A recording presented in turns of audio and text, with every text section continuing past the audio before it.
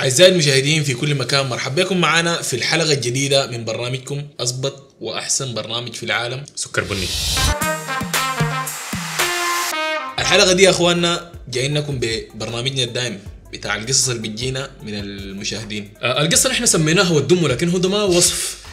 ما ما وصف دقيق دي آه يا زلمة ما تضحك. دي قصه حقيقية بالمناسبة. ده ما وصف دقيق لشخصية الراجل ده لكن آه، للتسهيل كده ممكن نقول عليه هو دمه. حتعرف السبب اللي قدام. القصة بتقول إنه زولا كانت زي ما بيقولوا عليها نوارة الفريق. بكيات عزا أعراس واقفة قدام young soul full of life النوع ال- يعني مرحة وونّاسة زولا أصلية واقفة مع الناس في مناسبات وقام جاها عريس مغترب. في ظرف شهرين عرسها أنجز.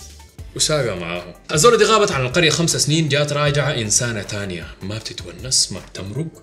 تغيير ممكن الناس يحسوا إنه يا أخي أوه عادي لأنه الغربة ما زي القرية بيكون فيها قفلة وكلام زي ده. يا معلم قامت رجعت للاغتراب تاني أخذوا لهم سنتين هناك في الغربة ويجوا راجعين السودان. جو نزلوا في العاصمة. قعدت زي سنتين ثلاثة في السودان كده فجأة جات ساقت أولادها وجو نازلين القرية. بعد المدة دي كلها بعد السنين دي كلها يا دوب كلمت أهلها إنه يا أخي أهل إنه الراجل ده والله يا أخي بيدقها وبيعاملوها معاملة شينة جوا البيت يعني خصوصا أم الولد بتعاملها معاملة بطالة شديدة جدا جدا. عشان يعني نديكم اختصار كده ده لمعاملة الأم للبدي يا أخي البدي أصلا هي بتلبس لبس محتشم لكن هي ما منقبة ف مع الراجل. الأم فرضت على مرة ولده إنها ممنوع تمرق من البيت بدون نقاب. قصة ثانية دي, دي, دي ممكن الموضوع ده يكون فيه نقاش ممكن ناس يوافقوا ممكن. لكن قصة ثانية مرة من المرات البدي جوها أولاد أختها جوها منو؟ أولاد أولاد أختها جو دايرين يسلموا عليها. الأم الولد دي فتحت لهم الباب طبعا هم عايشين في نفس البيت. آه قال لها يا أخي نحن أولاد أخت فلانة وعاوزين نجي نسلم عليها وكذا طردتهم من الباب. قالت لهم امشوا من هنا بلا أولاد اختها بلا كلام فارغ زي ده. فتخيلوا كمية الضغط النفسي اللي عايشة فيه البنية دي. والله ده موضوع صعب. في الناحية تانية ناخد تقريمة بسيطة كده عن شخصية الزوج الراجل ذاته.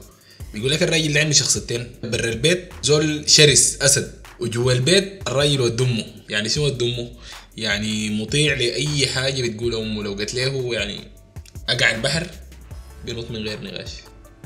الحاجة طبعا ممكن تكون كويسة ممكن تكون يعني ممكن تقول له آه أوكي طبعا لأنه زي ما إحنا عارفين إحنا عندنا إنه في الدين أمك ثم أمك ثم أمك تمام؟ لكن أكيد. الحاجة دي عندها حدود. نعرج لحتة تانية. البت نفسها البت الزوجة المصدومة دي عندها أخوها. أخوها راجل صعب جدا زول وايد وما متزوج وما عنده أولاد. في نفس الوقت قال لك شغال في الدنيا دي بمبدأ. Get rich or die trying. جانجستا شيت الراجل ده ذهب بيمشي تشاد بيمشي شايد في أي اتجاه. شاق الخلا ده كله قال لك الراجل كنا بنتكلم عنه ده ود امه جاب جاويد نظام مصالح البيت وكده فهلا وافقوا. لكن بشرط واحد إنه ما تسكن مع أمه في بيت واحد. وأنت ش... وأنا شايف إنه الحاجة دي من حقهم. أكيد أكيد. لازم تضمن سلامة بنتك دي. يعني ما ما حتسلمها لزول غرار ما في يده زي ما بيقولوا. في نفس الوقت ده أخو البت اللي اتكلمنا عنه الراجل الصعب ده مشى للزوج طوالي طلع له طبنجة يا معلم. خدت له طبنجة في راسه وقرب الحرف الواحد طبنجتي دي جديدة. جربتها في زول وما بتقتله. وانت براسك الغليظ ده أنا لازم أجربها فيك. قال له والله أنا عندي أولاد ولا عندي مسؤوليات.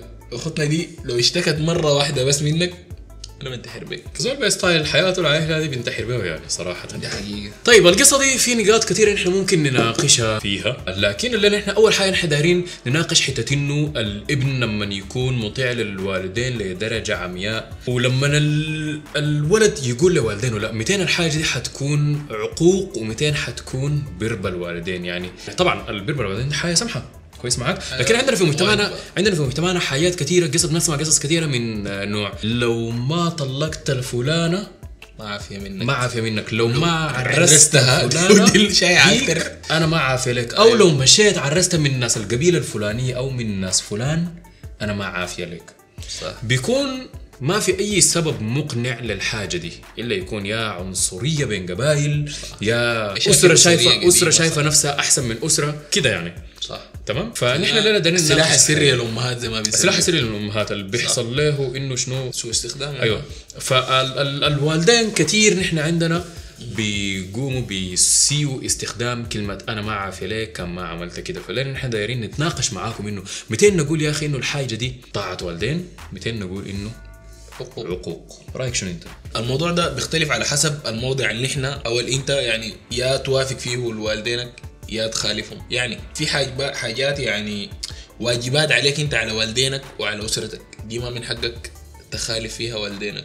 ودي المفروض أصلا ما توصلهم درجتين يقول لك يا أخي إحنا ما عارفين لك أصلا يعني. صح. في حاجات تانية ممكن نطلق عليها المباحات. أول حاجة يعني الخاصة بيك انت. يعني مثلا حياتك الخاصة. عرس قراية تخش جامعة كده تخصص كده عايز تشتغل كده في حياتك الخاصة بعدين عايز في شغلك عايز تشارك فلان عيلة فلان. من ناحية ثانية ممكن نقول نشوف الحاجة دي إنه يا أخي السبب اللي بيخليهم يعملوا كده إنه يا أخي هم عندهم خبرة في الحياة صح، أكثر منك صح، طبعا. صح. وخايفين وطب عليك. وطبعا أنت بما إنك أنت الأم دي أنت ولدها مهما كبرت حتفضل لسه طفلها صح، الصغير ذاك في عينها تمام أكيد، أكيد. فهي دايما بتكون شايفة إنه يا أخي إنه هي عندها خبرة أكثر منك في الحياة فعشان كده بتكون بتكون شايفة إنه لا. الواد ده حيتخذ قرار غلط حيندم عليه. أنا ما عايزه جناي يندم صح. بتقول الحاجة دي بحسن نية. صح. تمام؟ صح. لكن حسن النية ده ما مبرر عشان إنه يكون في سوء استخدام للحاجة دي. مرات بيضيع عليك فرص في حياتك.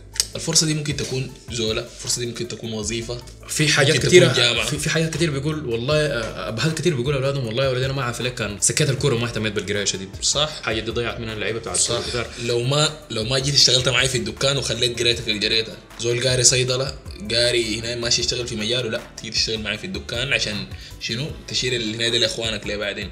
هي صح الفكرة كويسة لكن الواد ده برضه ما عنده مستقبل كمان. فالموضوع صعب شديد ومعقد فأنت المفروض يعني تعرف والله صعبة على الولد طيب. وصعبة على الأبو. السؤال بيقول ليك انت يا محمد سر الختم تمام؟ أيوه أديها جغمه موية. ليك انت يا محمد سر الختم طيب. هل انت ممكن يوم من الأيام تقيف قدام والدينك وتقول لهم لو قال لك يا أخي نحن ما عارفين لك كده تقول لهم يا أخي معلش الحاجة دي قرار خاص آه خاص بك. كده وروني أنتوا بتقول لي كده ده ليه؟ هل حتناقشهم؟ ولو لقيت إنه كلامهم ما منطقي إنك انت كلامك منطقي هل حتقول لهم أنا مقدر عفوكم مقدر رأيكم لكن الحاجة دي خاصة بي أنا؟ هل حتمشي في الدرب بتاع رأيك ولا حتمشي في الدرب بتاع الدمو. انت عارف سؤالك ده بيجيب لي مشاكل كبيرة خلاص. والحجه قاعد يشوف في الحلقة. انت كان تسالني أنا أنا سألتك أول. أنا حريف أنا عشان ما غدرت دارك غدرت بيه عشان ما دارك تسألني غدرت سالتك. جاوب. طيب. شوف يعني حاجة ده الكلام ده خاص بالنسبة لي أنا ما ما أعرف الناس الثانية رايي شنو حاجة يعني بتغضب والديني أنا ما بعملها. مهما كان حتى أنا لو شايف إنه هي في صالحي ولي قدام أنا هحاول طبعا أتناقش معاهم أصل معاهم يعني لاقصى درجة ممكنة من النقاش إذا؟ الوالدين ما قد ما ما ما قبلوا ما. قبلوا يتناقشوا أصلا ما إذا. وصلت في حتة بتاعت إنه يا أخي أيوة. ما طلقت فلانة دي أنا ما عافية لك. أيوه. شنو يا صاحبي؟ أنا ما عرفت أطلق 200 كده دقيقة. ك... ما- أسمع كده دقيقة نفهم استهدى بالله. أنا الحتة داير أصليها إنه أيوة. هل نحن جاهزين أنا وإنت؟ أنا لا أنا أنا أدخل والله ما جاهز هل أنت يا محمد سير الختم بعدين في نهاية عمرك حتكون أيوة. وتدمه ولا حتكون زول بيقف بقراراته؟ زول بيقف بقراراته طبعا ما بعني إنه يكون عاقل والدينه أنا بعني إنه يكون شنو؟ يحاول بقدر الإمكان إنه يتفاهم. لكن لو شاف إنه مرات مثلا بيقول يا أخي أنت كان ما طلقت فلانة أنا ما عافية لك. ليه؟ لأنه مش عشان المشكلة مع فلانة عشان المشكلة مع أهل فلانة. صح. تمام؟ فلانة بيكون ما عندها ذنب أنت معرسها أيوه. لكن يلا. في مشكلة سألتني. سؤال. يعني أنا دي اول حاجة جات في رأسي. أنت ممكن تمشي مع طاعة والدينك دي لأقصى درجة ممكنة. تمام. لو بتضيع عليه فرصة ما مشكلة. طيب. بتضيع عليه شغل ما مشكلة. لكن بس ما يكون في ظلم لبني آدم تاني حتة. ما عنده نقطة جميلة جدا ذنب في الموضوع ده. يعني بيكون في زولة بالذات أنت لو تزوجت لو عرس ده يعني ممكن تقول فيها وعليها كده يعني. قال لك خلاص ما تعرس انت ممكن تضحي. بالذات لو الزوله دي انت ما ماسك بها زمن طويل الناس اللي بيخطبوا سنة سنتين ثلاثة ثمانية بتاع. انت كده بتكون ضيعت للزوله دي عمرها فدي المشكلة بجد فانت لو دار تحنك كلم أمك من بدري عشان الموضوع ما يجوط وتجر ببنت الناس فهل. عشان كده نحن بنشوف إنه الأولاد دائما بيحاولوا إنه يعرفوا البت.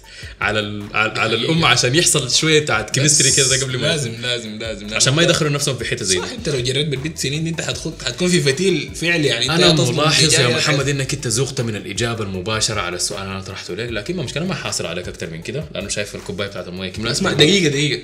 تقوم بعد شوية أنت نفس السؤال، لنا. نفس السؤال. طيب يا أخوان إحنا نقوم نقول نفس آه، السؤال يديكم يا العافية. على لا وين وين؟ نفس السؤال. عايزين جواب وما تجاوب جوابي جواب شنو؟ الدبلوماسية بتاعت حمودوك دي خليها جواب شنو؟ جواب شنو؟ السؤال شنو؟ هو السؤال فيه أنا لو أعرف السؤال أجاوبه أنت نسيت السؤال صح؟ كيف نسيت السؤال يعني السؤال شنو؟ فرصة أنت ضيعتها. أهم حاجة يا إخواننا أهم حاجة إنكم تشاركونا آرائكم في الكومنتات. تعملوا share وتشاركوا الموضوع ده مع أهاليكم في جروبات الواتساب برضو لأنه الموضوع ده يعني حقيقة والله. أي واحد فيكم كان ما مريت به لحد هسه حتمر به أو ممكن تكون مريت به قبل كده. نحن طبعا هنا ده عرضنا المشكلة ما عرضنا أي حلول فعلية كده ده. فالحلول دي نحن بنشوفها دايرينها منكم أنتم. الناس اللي بيتابعوا في الحلقة دي. الكومنتات يا إخواننا. وما تنسوا أهم حاجة ال like وال subscribe. وال share. ولحد ما نجيكم المرة الجاية بموضوع زي ده كده ثاني ما داري زي ده. مو حاصل يا اخواننا فتناكم بعافية. peace سلام.